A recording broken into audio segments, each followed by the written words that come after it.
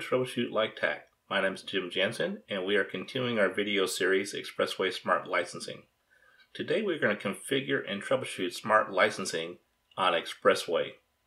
If you recall from our previous video, we went to the Cisco Smart Software Manager portal, generated tokens, viewed licenses, and managed both. So let's continue on to configuring Expressway.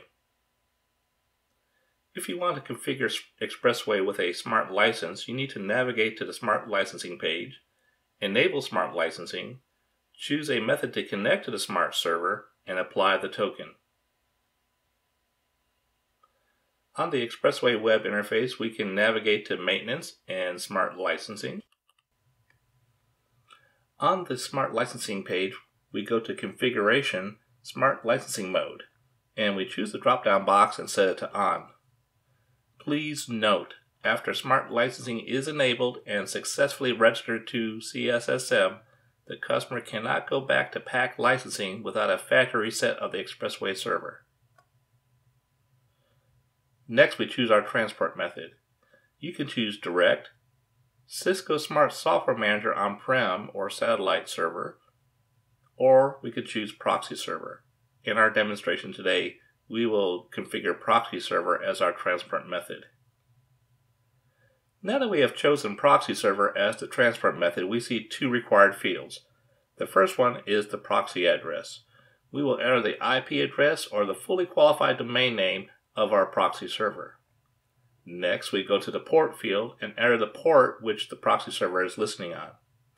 In some circumstances, your proxy server requires credentials use the username and password field to enter that information.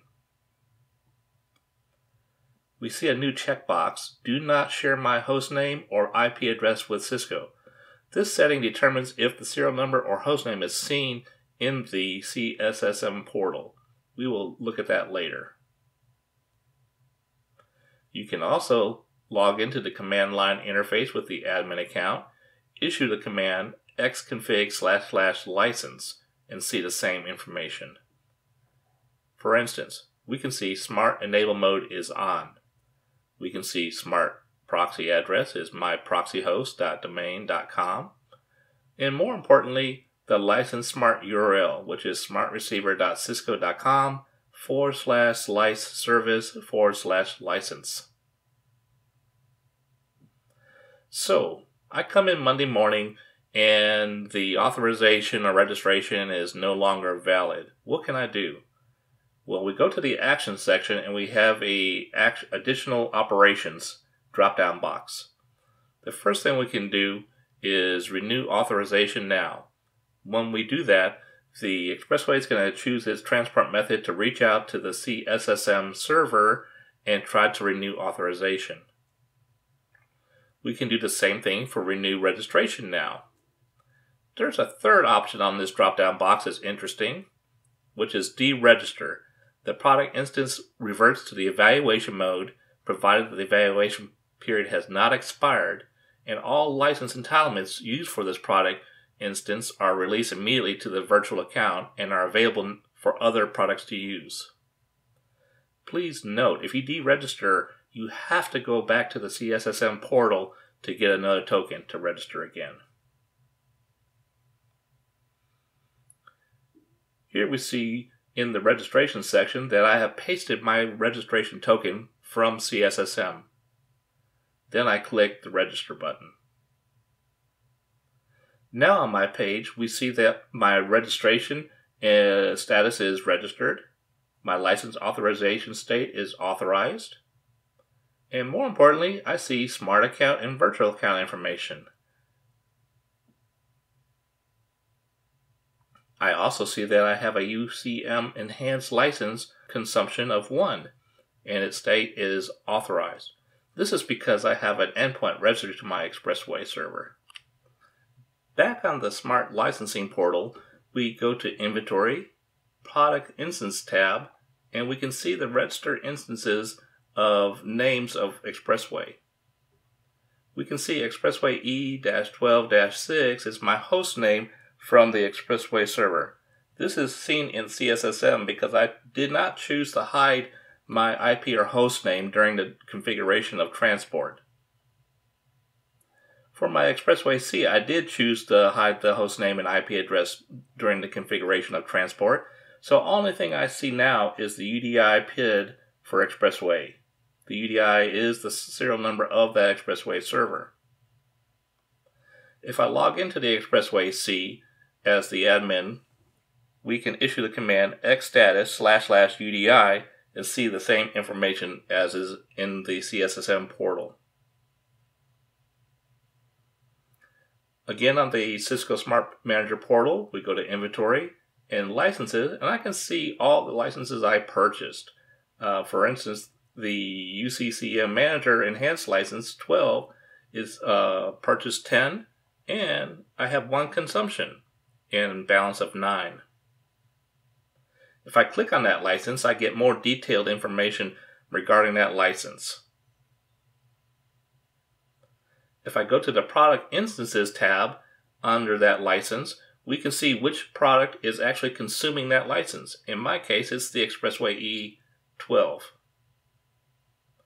We can also have an option here on this page to transfer the license to another virtual account. Under the event logs, we can see different things that have transpired on the portal for us. For instance, here I see 10 new UC Manager enhanced licenses were purchased. On the transaction history, we can see the transaction date of the purchase of that desktop licensing. We can also, more importantly, see the expiration date of those licenses.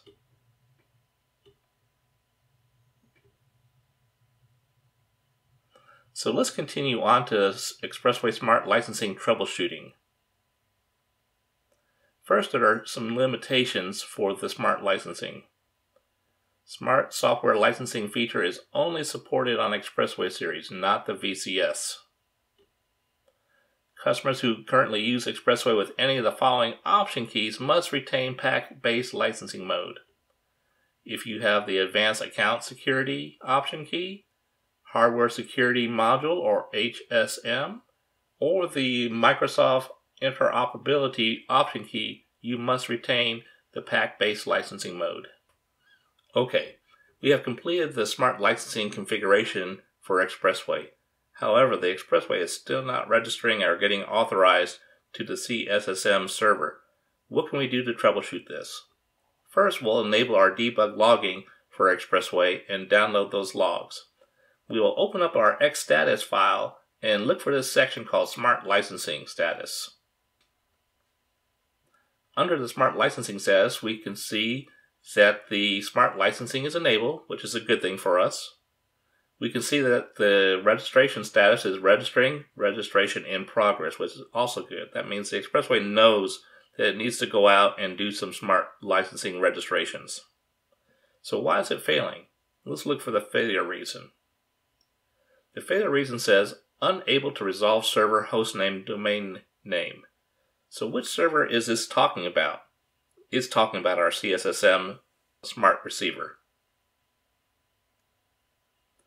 So we look at the PCAP that was downloaded with our bundle, and we see that the Expressway uh, at 14.49.18.253 is reaching out to my DNS server at .252. It is sending a A record and quad A record request for smartreceiver.cisco.com, so the Expressway is doing its job, is sending it to the DNS server. However, the DNS server is responding to us and saying, no such A record, no such quad A record, no SRV record, no C names. It cannot find what we're asking it for. So, smartreceiver.cisco.com is not being resolved by our DNS server. Most likely is because there's no forwarder on the DNS server to reach the internet to resolve this for us. Another troubleshooting method for the DNS is to go to the DNS lookup tool on Expressway, enter smartreceiver.cisco.com, and click lookup. As you can see, the response here I get is the correct information as I corrected my DNS server. In the PCAP, we can see that Expressway is now sending information to the new DNS server 172.18.108.43. This DNS server has access to the internet and was able to resolve smartreceiver.cisco.com. And we see we have answers here with a public IP and additional records in case that one answer does not work for me. So hey, it resolved. But I'm still not getting registration. I'm still not getting authorization for my Expressway server. So let's continue troubleshooting. We'll get a new fresh log of the Expressway and we're going to see in the same X, X status file that the smart licensing status is still enabled. We're still getting registering registration in progress. But what's the new problem? We see that the registration failed on August 3rd, but the reason why was unable to establish connection to server. So there's no licenses, no authorization. So we have a transport issue with direct CSSM satellite or proxy server. And of course, in our situation, we have a proxy server that we need to troubleshoot. So why are we having transport difficulties? We look again at our Xstatus file from the log bundle and we look under transport.